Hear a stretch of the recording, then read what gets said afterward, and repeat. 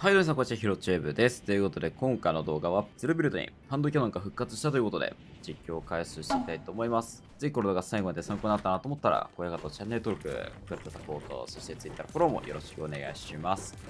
ということで、ちょっとハンドキャノンね、頑張って探していきたいと思います。さあ、ということで、一応ね、ここからマストリ終わって、まあちょっといつも通りね、グリムゲート周辺を漁っていきたいと思います。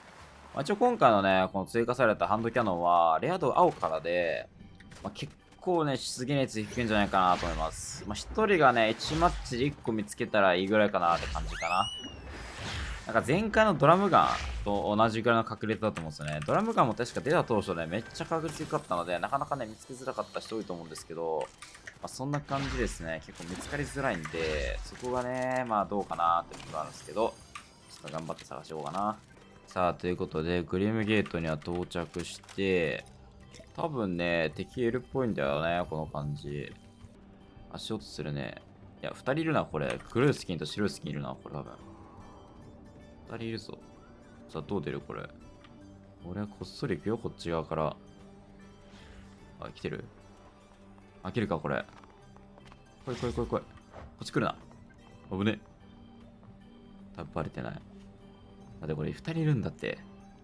白いスキンと普通のスキンでいるんだよ、敵が。いやー、ちょっとこの敵戦ってほしいな。あ、ほら、やっぱ奥側にほら、いるいる。白いスキンが移動してるよ。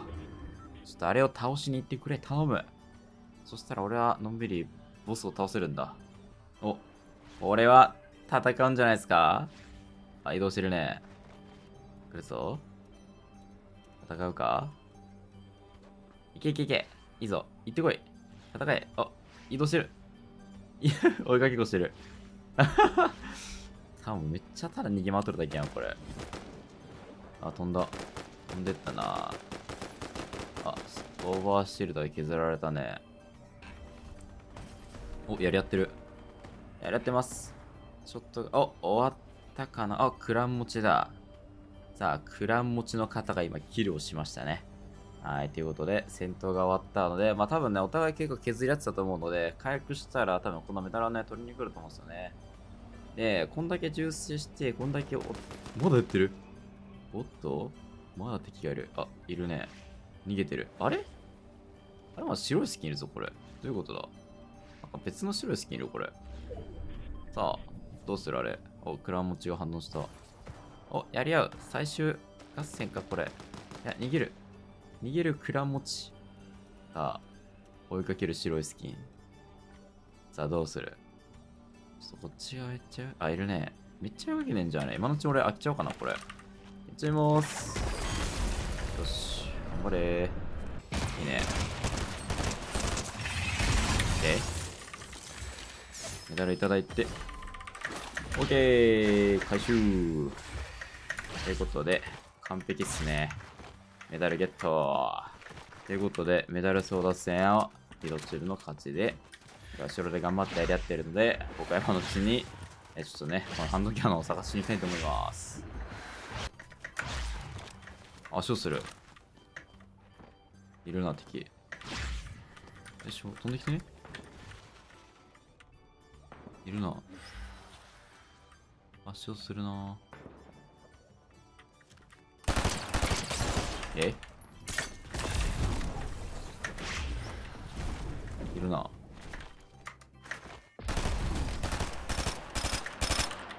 あ、あれか。うちおい危ね。およいしょメダル持ちだ、あれ。危ね。一旦回復して、なんとか投げ切ったぞ。クラ持ちが上にいる？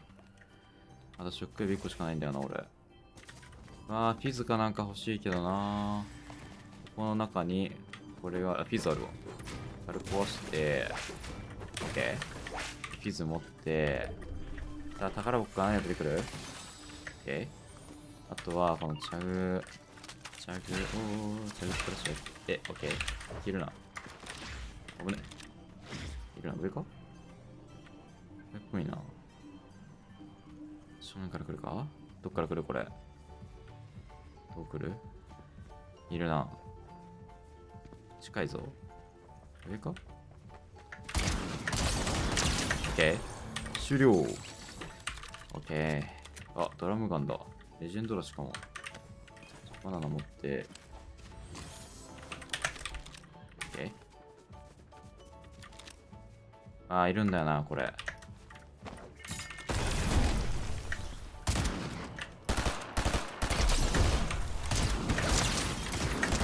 オッケー、レッツゴーチチよし、なんとかこれで倒しきった。スナイパーもらいい。でもハンドキャノンない。どこだ、ハンドキャノンは？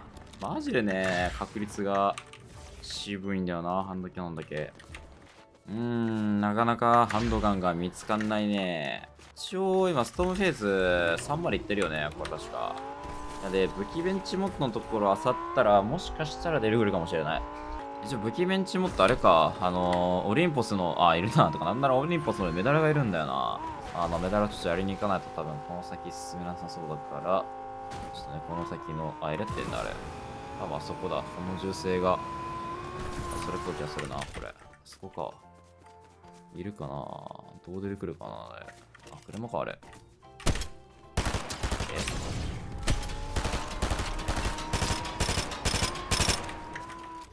え惜しい。惜しいな。あれか。うん？弾出してこい。欲しいな。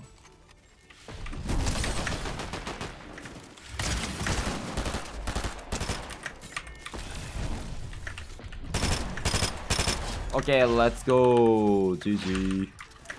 OK. 危ねいいメダル持ってますね、あとそれ。ありがとうございます。よし。ということで、この時も倒して、ラッシュするな、これ。どこだあれか。おいいよ。OK。よいしょあ、ミスった。あれか。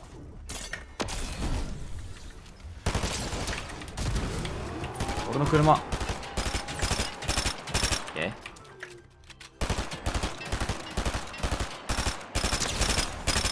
オッケー。富士ハンドキャノンは持ってなさそうだね。さあハンドキャノンもあるんでしょうか。幻のハンドキャノンはさああるか？出てくるか？ハンドキャノンらしきものはない。ハンドキャノンあった来たハンドキャノンやっとゲットですね、これ。